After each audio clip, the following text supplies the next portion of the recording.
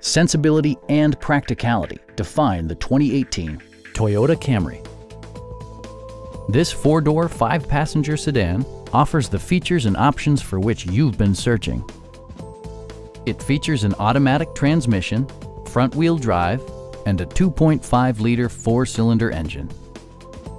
All of the premium features expected of a Toyota are offered, including delay off headlights, front and rear reading lights, variably intermittent wipers, lane departure warning, and cruise control.